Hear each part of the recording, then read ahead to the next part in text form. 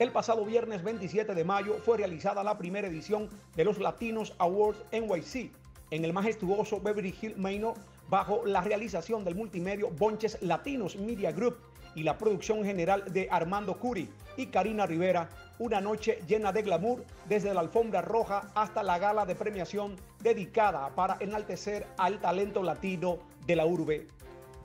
que contó con una emotiva ceremonia bajo la conducción del comunicador Emil Peralta y desde República Dominicana, Arisleida Villalona, la condesa.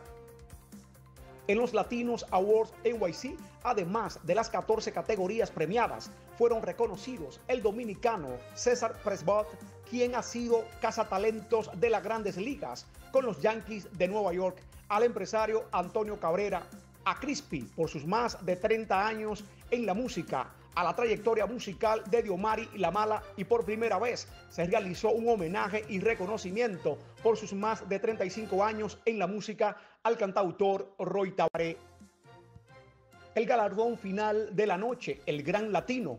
fue entregado al dominicano Idanis Rodríguez, quien actualmente es el comisionado del Departamento de Transporte de la ciudad de Nueva York. El evento tuvo un opening que entusiasmó a los asistentes, desde la presentación hasta la musicalización de DJ Rubirosa. En un reporte desde Nueva York para Lo dice el pueblo en República Dominicana, soy José Manuel Castillo.